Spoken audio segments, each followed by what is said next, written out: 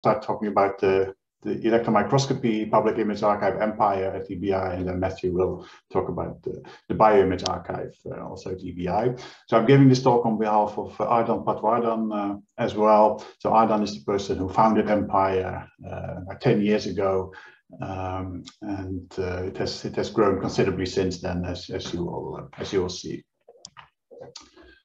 Uh, so we we are now well the the image is almost out of date. Uh, so we, we were over one and a half petabyte now. We, we reached the first petabyte in June uh, last year, and, and we'll be reaching two petabytes uh, uh later this this year. So it, it's, uh, it's it's big data uh, that we're dealing with, all, all related to electron microscopy in 3D. just for, for, those of you who may not be familiar with, with EMBL and, and EBI, uh, so we're the European Bioinformatics Institute in, uh, in Hinxton near Cambridge in the UK. Uh, we're the European home for anything having to do with biological data, for services, research, training, etc. Um, we're part of the of EMBL, the European Molecular Biology Laboratory, which is uh, an intergovernmental research organization with laboratories in, in five different countries in, in Europe. And the EBI has, has five missions all to do with uh, biological data, but the one we talk about uh, here falls in, in the scientific services uh, part. So at EBI, uh, there are a huge number of, of biological data resources in areas from literature, genomes, all the way to, to, to systems uh, biology.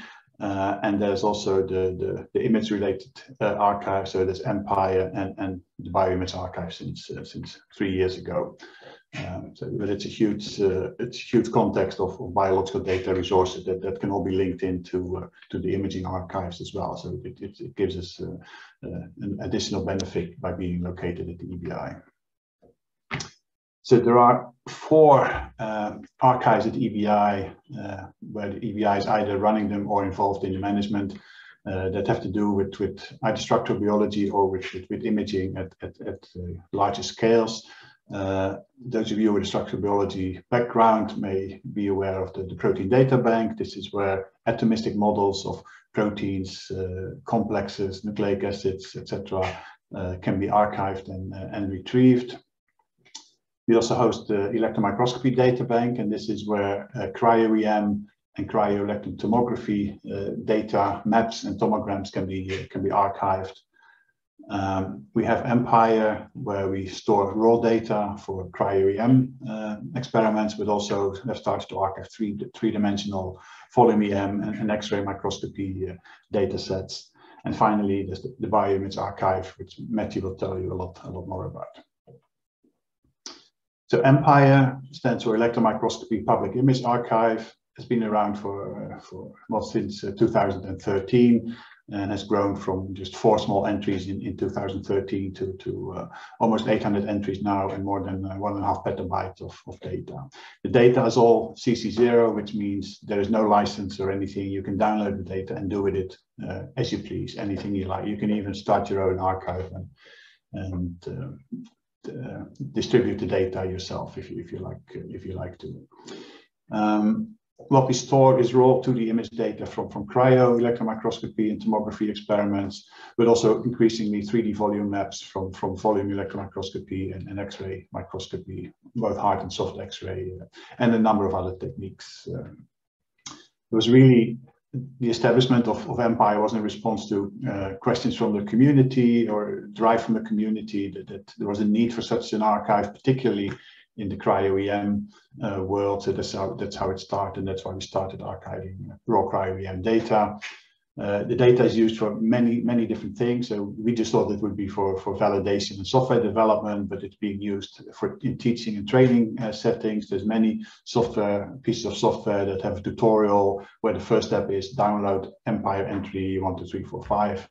Uh, for example, uh, software developers, it's very useful resource for them because they can test the software on data from microscopes that they, they, they may not have in-house, for example. Uh, there have been community challenges uh, where multiple labs do the same thing on the same data using their own software or standards and procedures. And the data can also be stored in, in EMPIAR. So there's many different different uses. Uh, and as uh, Matthew will explain, we're, we're, sort of powered by the, the infrastructure provided through the, the Bioimage archive at the EBI. And there's also an international uh, component. It's all still developing, but we have a mirror site in Japan, which also brokers uh, depositions from Japanese uh, scientists. And there is a resource uh, in California which redistributes the, the SARS-CoV-2 data sets that we have in, in EMPIAR. But just to show you the growth, how we started from very small beginnings in 2013 in terms of the, the number of entries and in terms of the, the size of, of the archive and the, the growth is, as you see, well, it's, it's, it's still uh, very rapid, uh, but in particular from 2019 to 2020, there was a huge increase. And this, we think, has to do with the pandemic because a lot of people uh, did not have access to their microscopes in 2020. And so they dug out a lot of their old data sets and processed them and, and deposited the raw data in, in EMPIAR. But even in 2021, this when, when many facilities were, were running again, the, the number of uh, entries that's been deposited and released still increased compared to 2020. Uh, and so you see that last year in 2021, the size of the total archive more than doubled in, in just one year's time, going from 700 uh, terabytes to, to this uh, 1.5 uh, petabyte. Um, so some of the entries are, are big. Uh, the, the biggest one we have at the moment is, is, is, is almost 75 uh, terabyte. Uh, you can see here the distribution, also the number of files. So th there are entries that have a million files, for example, but, but most of the entries, let's say half the entries are, are less than uh, 2000 or so uh, files. But uh, this, this is big, big data generally. Uh, yeah, so this is the, the current distribution of, of the, the, entry sizes. Uh, half of the, the data sets is, is, is less than half, half a terabyte and the other half is more than half a terabyte. So it's, again, it's big, big data. And the average size, depending on the imaging modality, is shown here. You can see particularly for, for, for uh, EMDB means that it's a, a single particle usually study uh, that has the map archived in EMDB and the raw data in EMPIAR the, the average size of the entries has, has increased almost linearly since, since 2017 and is now uh, at about three terabyte uh, on average. Uh, we're not only growing in terms of the number of entries and, and the total size, but also we're expanding the scope. So we started out with uh, only archiving raw data that belong to, to, to cryo-EM and electron tomography studies that were also had their maps and tomograms archived in EMDB. But soon we got requests to, to archive some, some FIB-SEM and SBF-SEM uh, data sets, and then some correlative data sets. Um, and there's a whole bunch of miscellaneous uh, things that uh, that we have begun to to archive. Uh, we expect there's something that that that we expect to get uh, in the in the near future. Hopefully, so some data from citizen science projects ground truth segmentations for machine learning applications. And then, of course, there will always be the, the unknown unknowns that we can't foresee yet. So I looked uh, yesterday, the, the distribution, it's about 10 to 1, the, the cryo data sets and, and the volume EM and X-ray microscopy data sets that we have. But you see there's there's quite a variation of, uh, of, of, modalities in, in the volume uh, the volume area. Um, and it, it, it's growing as well. Oops, sorry. Okay, so I'll give you a few slides with just some examples of, of entries that we have, just to give you a you know a taste of the, the kind of data sets that that we have in uh, in, in EMPIAR. And th this first data set is one that you also see behind me. Uh, and this was a, a 2D uh, EM data set on, on SARS-CoV-2. This was our first SARS-CoV-2 data set that came out in, in April uh, 2020, so quite early in the in the pandemic. Uh, it, it's two images that have been stitched together from, from smaller to the images. So the, the images are 100,000 by 100,000 pixels, so they're, they're really big. Uh, if you want to inspect them, you can go to the, uh, the image data resource, which, which uh, Matthew will, will, mention as well. Uh, but if you want to download the data or the raw data, so if you want to do the, the stitching with your own algorithms or develop software for that, you can get the, down, the, the, the raw data from, from, from EMPIAR. Uh, there's, of course, cryo data sets, both uh, single particle and, uh, and tomography. Uh, so there's a whole range of techniques that, that we cover. this is just for the, for the SARS-CoV-2 data. Uh, the data is also uh, indexed in something called the COVID-19 data portal, which is a resource that EBI manages, which contains very easy access to all data, all biological data uh, in EBI that's related to, to COVID-19 and the SARS-CoV-2 virus. So it, it's, it's gen genome sequences, uh, protein sequences, uh, interaction data, protein structures, and also image, image data. And this is this uh, resource I mentioned earlier in uh, in California, where they they uh, redistribute some of the the data that we have, in particular the the SARS-CoV-2 data sets. Uh, some more examples. So there's there's some correlative uh, uh, data sets where the, the, in this case the, the soft X-ray tomography data on the left and, and the volume EM data on the on the right goes goes to us but the, the light microscopy data goes to the to the bioimage uh, to the bioimage archive. So we have links to, to that, so you can you can get uh, both both types of data quite uh, you can access quite quite easily. Um, we have you know, plant data up to medical research data, no clinical data, but patients identifiable data. But it, it's a whole range of different uh, uh, sample types and uh, and applications. Uh, we have some benchmark data sets. Uh, so this is an SBF SEM data set from, from Lucy Collinson's uh, lab on HeLa cells. Uh, and this is a data set which actually went with a, uh, a chapter in a book on correlative uh, microscopy. So this is the person who wrote that, that chapter, Allon Weiner. he deposited some EM volume data in, in EMPIAR and some uh, imaging data, uh, light imaging data in uh, the bioimage archive. Uh, and so if you download those two data sets, they're, they're, quite small, then you can work through this, this, this chapter in, in the book and, and follow the examples. Uh, in terms of length scales, we have everything from atomic resolution, single particle, cryo-EM data, up to uh, whole organism uh, data uh, on the Platynereis, for example. And again, this, this is correlative data, so you find the, more data in the, in the bioimage archive.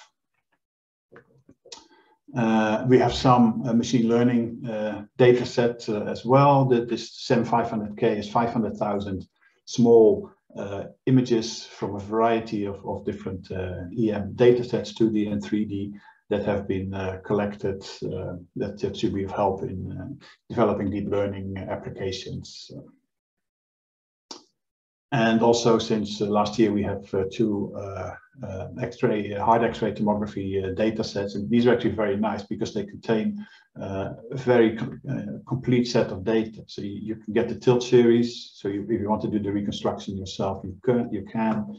Uh, you get the reconstruct, reconstructed 3D volume, so that's what most, as a biologist, probably you're, most interested in, and also the the segmentations of that uh, of that 3D 3D volume, and there's also machine learning uh, training data uh, has been deposited. So it's it's a very complete uh, data set, very very nice. Uh, and just to show how, how, you, you know, if you go to the entry page for one of these these things, um, so this is one of the hard X-ray data sets. It's, it's very easy to to download using a, a variety of, of, of, ways, FTP or Aspera or Globus. Uh, you can download whole data sets or individual uh, individual uh, images or individual files quite easily by selecting them. And if, if we find a 3D volume, one or more 3D volumes, then we also provide a link to uh, what we call a volume browser, but it, it's really uh, a slice, a slice viewer, as it were. So this is a quick way for you to have a look at the data without needing to download anything uh, or to install uh, software locally. So this is in your browser. It's a quick, quick way to look in you know, Z planes or, or Y planes or X planes. Uh, you can change the, the, the, the, contrast and everything and select which plane you want to look at either by clicking or by, by, by selecting it uh, here. Um, so the cross-archive links, I mentioned both the Bioimage Archive and, and IDR.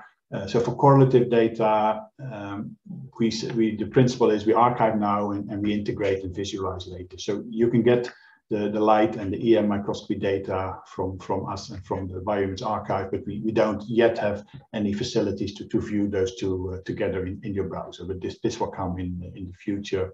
Uh, so we think it's better to, to start archiving the data and then later we can, uh, we can tie them, tie them together. Uh, we also have uh, one or two entries where we have a link to, this uh, IDR in, Dundee. And there, the, idea is that if you want to view the data in detail with annotations, then you go to the IDR website in, in Dundee. If you want to download the data or the raw data, you can come to, to EMPIAR. so the EMPIAR website it's very easy, empiar.org. If you want to deposit data, you click on this button and you'll be taken to the, the deposition system.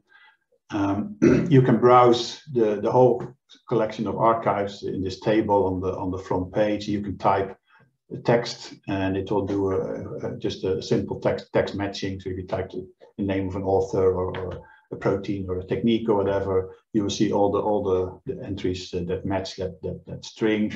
Um, if you want to do a bit more advanced searching, then I'll show this in a minute, that there is a way to do it via the EMDB uh, search system. And as I mentioned, downloading individual image, images or entire data sets via Aspera Globus FTP, and also through your through your browser if you just want to look download one uh, one plane uh, and for example one image and then look at it uh, with with your own uh, local uh, local software. Um, so as I said, we can use the EMDB search system as well to, to look at the, the EMPIAR entries and you click on this link on the on the homepage. There's a video tutorial as well that in two minutes uh, summarizes how this uh, how this works.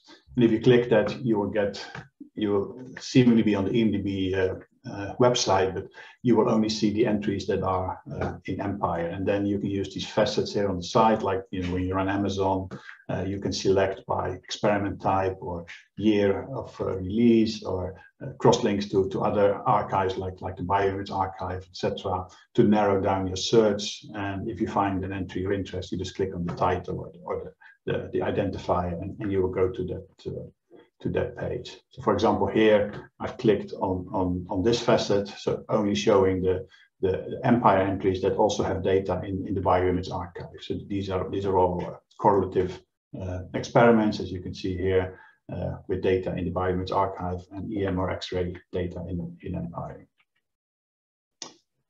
Um, if you're on an entry page and you want to have a very quick look at, at an image, it's in a format that, that we that we understand, uh, then we prepare thumbnails. So you can, you can mouse over, and if this the cursor turns to an eye, you can click, and you will get a, a thumbnail image of that particular image. And with these arrows, you, you can then go through an entire uh, data set uh, if you like. If you just want to have a very quick idea of what, what the data looks like.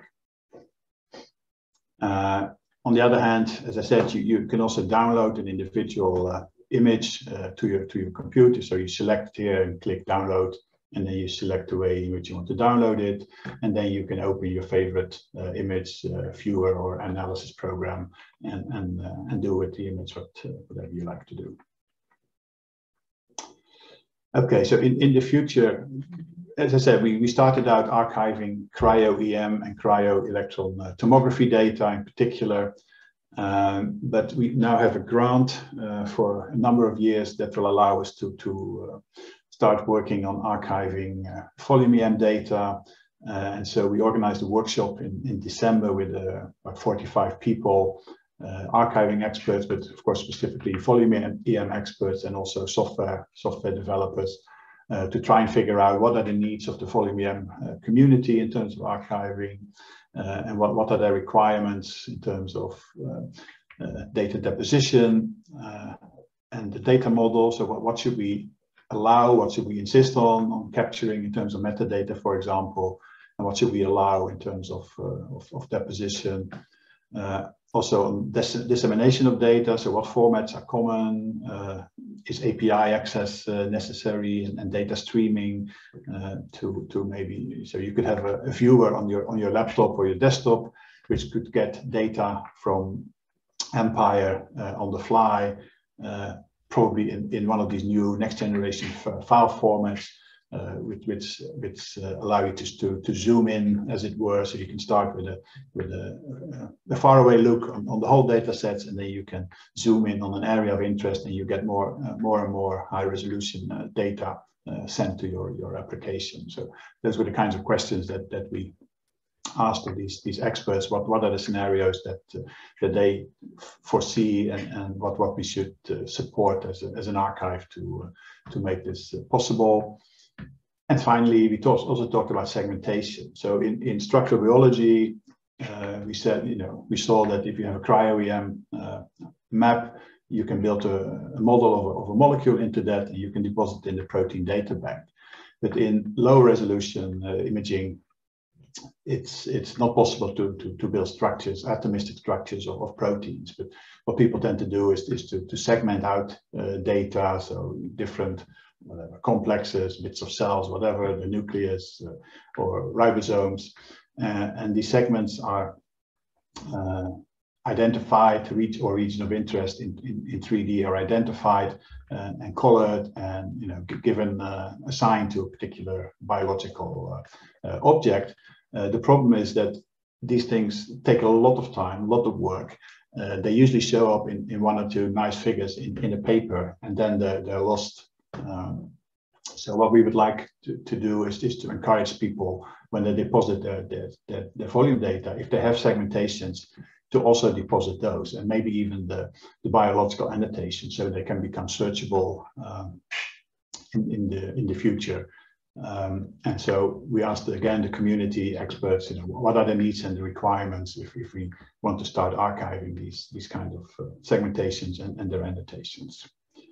So as I said, we had 46 people, three half days in December with a couple of breakout groups, and we got some very good feedback. And we, are currently working on a, white paper summarizing the the, the outcomes of the of the meetings, and then we'll start planning how we're going to implement uh, all the, the recommendations in these three three areas. Now, watch this space. There's a lot of interesting stuff ahead, and many of these developments will probably be in collaboration with with Matthew's uh, bioimage archive, uh, of course, because there's no point in reinventing wheels, and definitely not reinventing wheels if you know, if there's a perfectly good uh, wheel in the in the next office, or if we can develop a new wheel uh, together. So we will definitely be, be doing that. Okay, so I think we want to keep the questions until after Matthew's talk as well, right? So I, I will stop here. Just acknowledge again Ardan who's been the the, the brain behind uh, EMPIAR. Uh, we have uh, 1.5 annotators, so Simone is full-time and Osman is 50%. And we have uh, three three developers, Andy, Paul, and, and Sriram, who develop uh, the software, the website, the tools, etc., and also provide technical support to uh, to uh, particularly to depositors. Uh, and you can find us at, this URL. Uh, there's there's a link there to, to the help desk as well, and you can follow us on, on on Twitter, and also we'll have we'll be launching our YouTube uh, channel soon. So I will stop here.